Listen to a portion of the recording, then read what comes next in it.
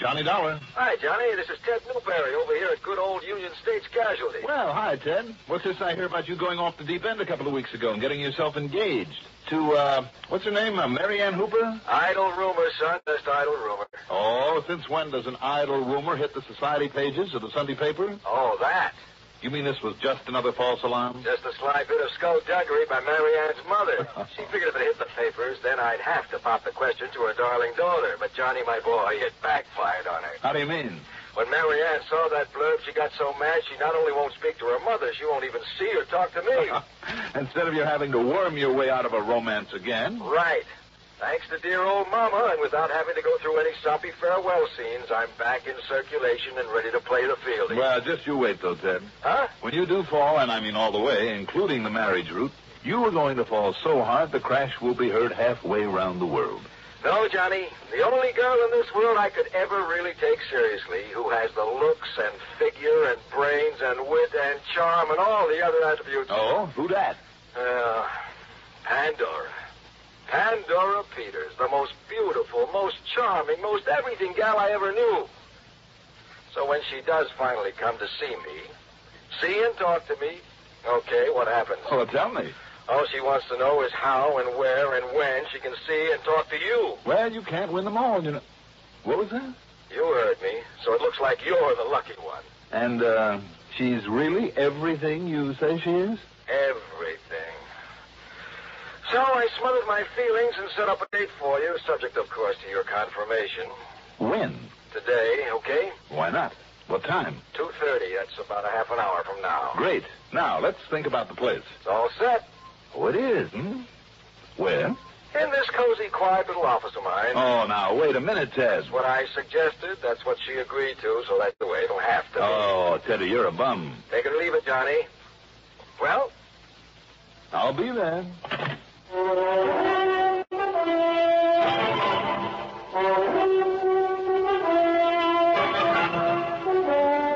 CBS Radio Network brings you Mandel Kramer in the exciting adventures of the man with the action-packed expense account. America's fabulous freelance insurance investigator. Yours truly, Johnny Dollar.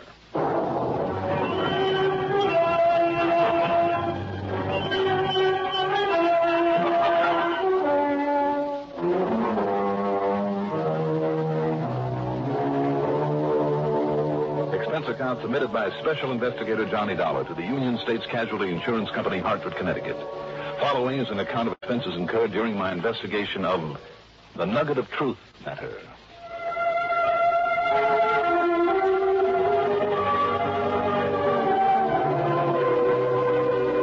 I shaved, showered, put on a clean shirt and a new tie, taking my time about it.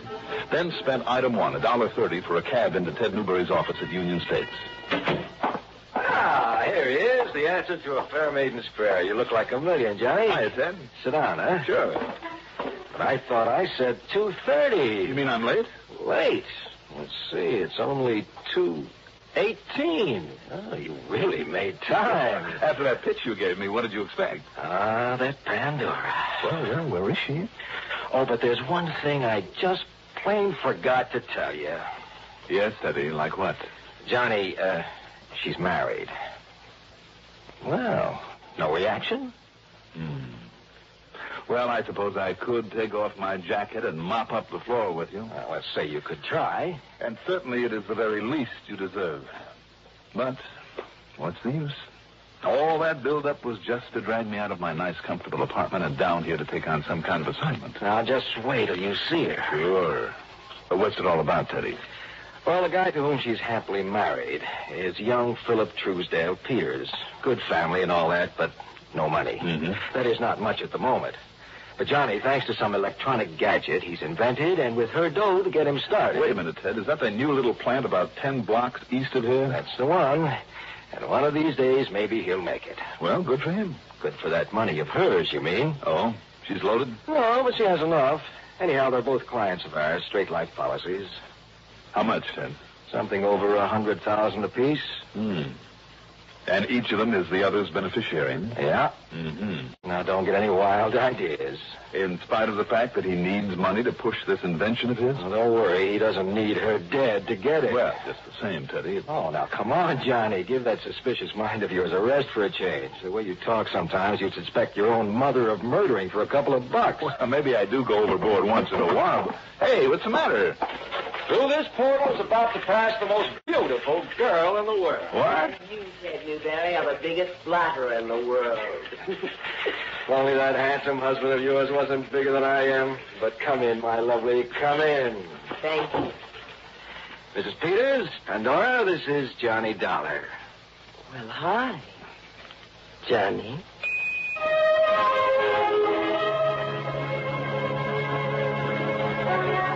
I'll say this. What I stood there staring at was worth staring at. 25 or 26, maybe. Tall, willowy, blonde. A faultless complexion with just enough makeup to enhance her natural beauty. Eyes a kind of gray-green with little smile wrinkles at the corners. A cute little tilt to her nose and soft, full lips. Mmm. And a darned attractive figure in a dress that didn't hurt it one bit. But there was something missing. Or maybe it was the other way around. Something there that shouldn't have been there. In her voice, in her eyes, I'm not sure. But there was a subtle coldness there that wasn't quite right. Not with all that beauty. The calm, calculating female that's invariably more deadly than the male? I wondered. I said hi, Johnny. Hmm? Oh, I'm sorry. And did I lie to you, Johnny, about this gorgeous, glamorous creature? Oh, now, Teddy. What so help me? How anybody like you could ever have any problems? Pandora, I But ju- I do have one. And I'm afraid it's a pretty serious one. That's why I wanted to see you, Johnny. What is it, Pandora? Johnny, somebody is threatening to murder me. Really? Here, Pan, you, you better sit down and tell us what this is all about. Yes, thank you. Oh, oh I'm sorry. That's all right. I am. Just the key to the Peters family car. Yeah. Thank you. Wait a minute. What? A Little charm on this keychain. How about that? Little golden skull. Hmm, very unique. Looks hand-carved. Well, it is, Johnny. From a single nugget that my grandfather found out in California back in the 1800s. Oh? It's my good luck talisman. Well, if you're being threatened, honey, you'd better hang on to it. Don't you worry, I will. But now, let me tell you. Yes, I think you'd better. Well, it started about two months ago. Little notes stuffed into the mailbox.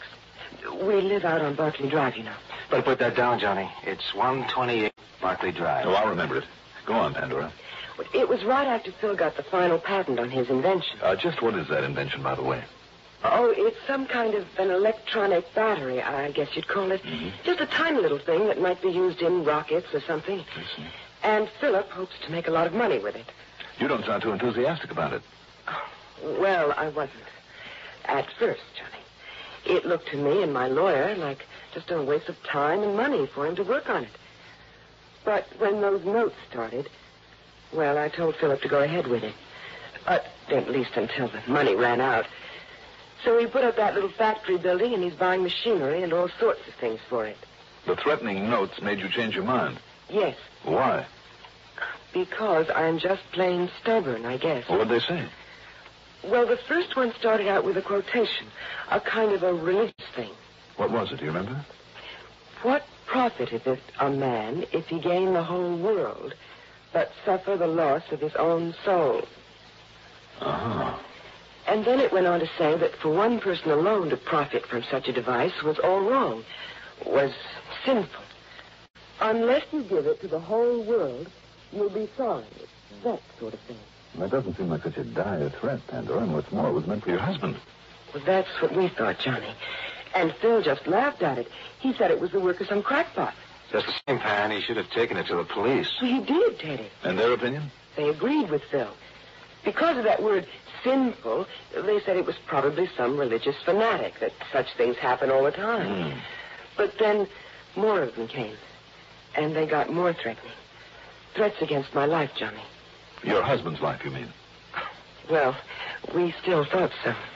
And the police gave Philip a sort of bodyguard for a while. But then yesterday, another one came in the mail. It was addressed to me, in my name. And it said, Yeah? it said that. Oh, here. Here, Johnny, I, I made this copy of it. Well, let's see. Blind, foolish woman. It is you who are guilty. Because of your money and that device of the devil. It is you who must die. And very soon.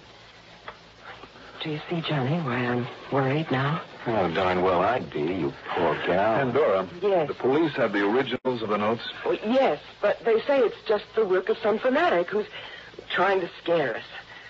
I don't think so now. Now I'm frightened. Now. What? You weren't frightened for your husband when you thought they were meant for him? Oh, well, no. Because, well, he just sort of passed them off. He laughed at them, the way the police did. But now, well, don't you see? Yeah, um, maybe I do. Now, what do you mean by that, Johnny? Or, oh, dear, maybe they're right. Maybe I am getting all upset over nothing. Maybe it's just some crackpot. But won't you find out, Johnny? Won't you make sure? Pandora, You bet he will. what are your plans for the rest of the day? Well, I, I can can't just stay locked up in the house all the time. Of course not. At least not unless you've got some police protection out there. Yes, well, Where's Phil now? Over at the new plant. Huh? It's in operation already? No, but he goes down every day in case they deliver machinery and furniture and things. And what time does he get home? The bus always drops him off in front of the house about 5.15. and your plans meantime? Well, I have to do some shopping and have a fitting here in town about 3.30. That'll take about an hour. Yeah. Then I'll drive out to that farmer's market on Spring Road where I always buy the meat. I promised Phil a steak tonight. And then? Then it'll be time to go home and get dinner ready. At least that's what I planned. But what should I do? Well, until I've had a talk with the police, I see no reason for you to change those plans. Now, listen, Johnny, she needs protection, so if there's anything I can do. Oh, no, it's all right, Teddy. With Johnny on our side now, I think everything will be all right. You don't feel that you need police protection? Well, do you? I mean, until you find out how serious these threats really are. Unless the police convince me otherwise. I'll be in touch, Pan. Good. Thank you. I feel better already, Johnny. You're a darling. And thank you, too, Teddy, dear. Bye. What a gal. I don't get it. Huh? What do you mean you don't get it? Teddy, there is something very fishy about this thing. Very fishy.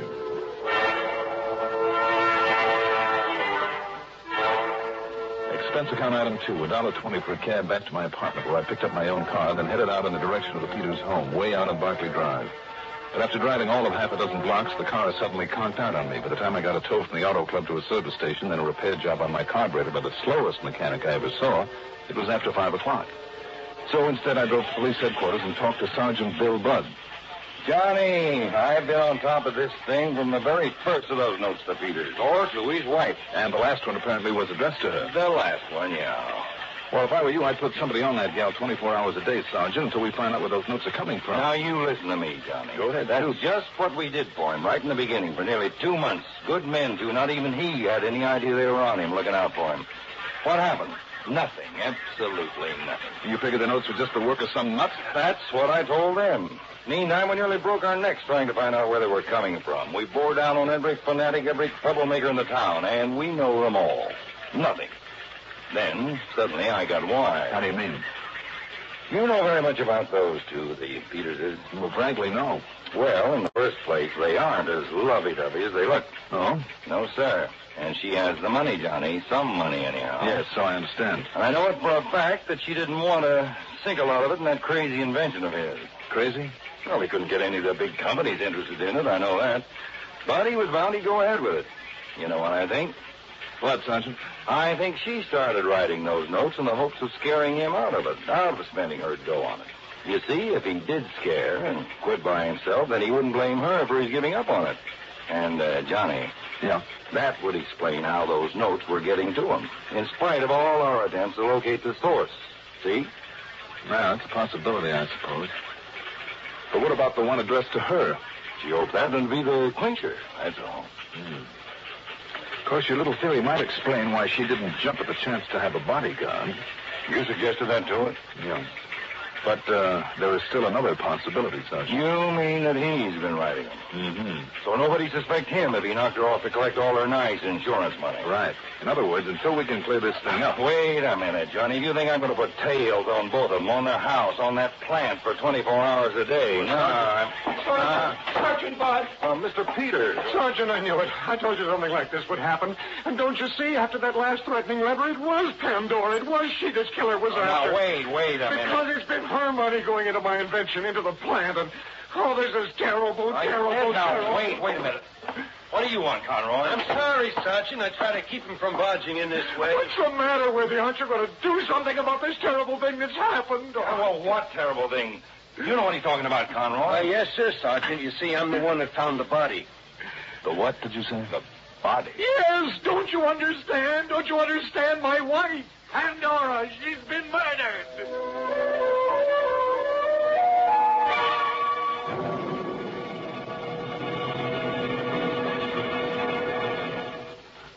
Frontiers changed rapidly today. Mostly they seem to expand. Lately, they show even promise of expanding right into outer space. CBS News is presently covering the effort to break into space, and when the time comes to report news out in space, CBS newsmen will be looking for space helmets with room for microphones. Through the facilities of the CBS radio network, expanded CBS News, brought into your home hourly, combines with this station's local reports to give you up-to-the-minute accounts of events that change the world. Listen to expanded CBS News every hour on the hour weekdays here.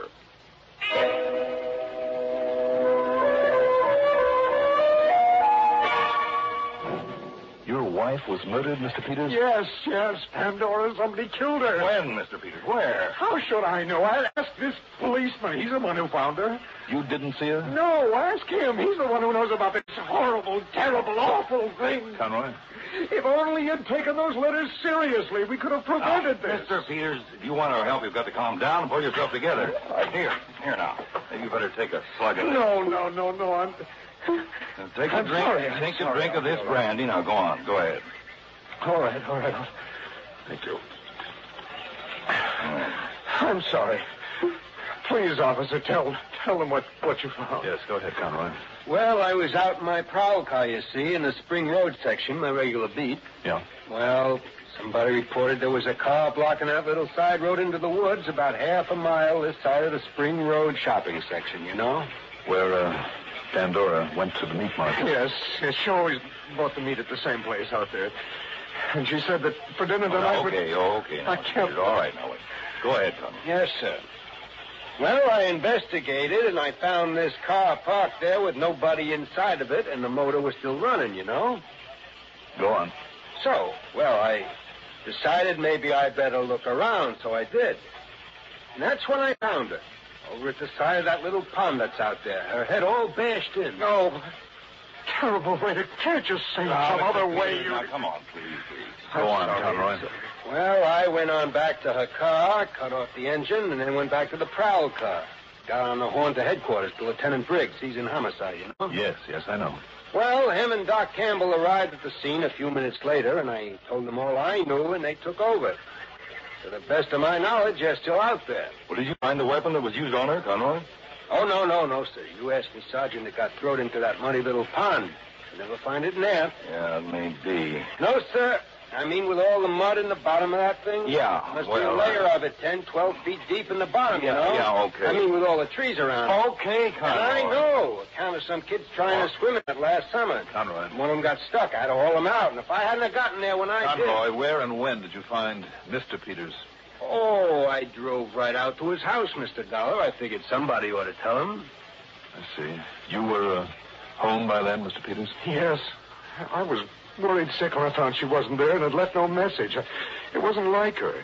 And, well, after those threatening letters, I, I, I knew something was wrong. I knew it. And when this officer came and told me what he'd found, Pandora. Yes, sir. That's when he insisted I bring him right here to see you, Sergeant. Yes. You, uh, you didn't take him to the spot out there in the woods. No, sir. He had me bring him directly in here. And Sergeant, if you if you don't do something about this, if you, if, If you don't find his killer. Look, we're going to do everything we can now, Mr. Well, if you'd done something before instead of just just talking about it, this wouldn't have happened. Mr. Peters. No, no, there's nothing to worry about. It's only some crackpot, some troublemaker. It was a killer. Don't you understand that? It was a killer. I'm telling you, we're going to do everything we can. Mr. Peters. Now, excuse me, I got to take this. Sergeant Biden. My wife has been murdered. Yes, he is, Lieutenant. For you, Conroy. Me, huh? Okay, thanks.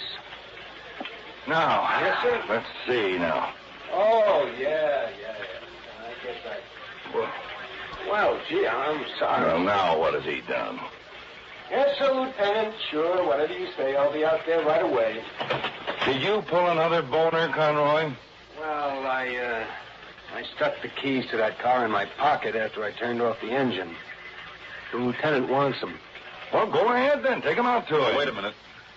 Can I see those keys, Conroy? Oh, sure, Mr. Dollar. Uh, yeah. What? Just an ordinary set of car keys, Dollar? Yeah. And that's why they give us the answer to this whole thing. Yes, sir. Oh, I hope so. You have a set of these too, haven't you, Mr. Peters? Why, yes, of course. May I see him, please? Yes, of course. Here you are. Thanks. Hey, will you look at that, Sergeant? That's some gold nugget carved to look like a skull. It's a, a, sort of um, a good luck talisman. Good luck? Yes. I'm afraid, Mr. Peters. Not for you. What? These are the keys your wife had early this afternoon when I talked to her. That means that to get hold of them, you had to be with her. Between the time I saw her and the time her body was found. Dollar. That also means, Mr. Peters, that. Well, do you want to tell us? Well, I had to. Don't you see, I, I had to kill her. Because of the money. Because I, I needed the money for my invention. I had to kill her. Sergeant, don't you think somebody better take this all down? I sure do. Go ahead with the plan. Thanks, Develop my invention.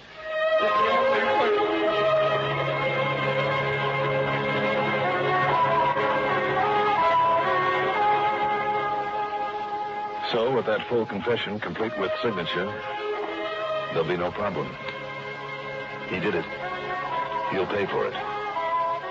Expense account total, and I may as well include the work on my car. Do you think you can afford all of 20 bucks? Yours truly, Johnny Dollar.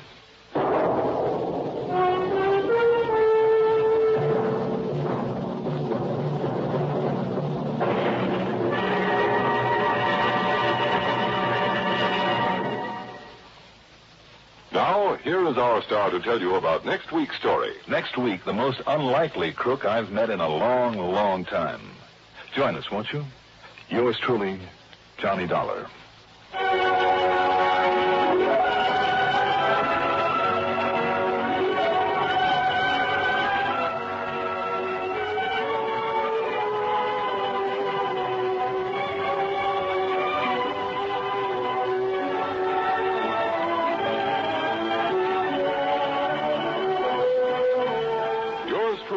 Johnny Dollar, is written by Jack Johnstone. Produced and directed by Bruno Zirato Jr. Music supervision by Ethel Huber. Johnny Dollar is played by Mandel Kramer. Also featured in our cast were Rita Lloyd as Pandora Peters, Jim Stevens as Ted Newberry, Don McLaughlin as Sergeant Bud, Court Benson as Philip Peters, and Bill Lipton as Conroy. Be sure to join us next week, same time, same station, for another exciting story of yours truly, Johnny Dollar. This is Art Hanna speaking.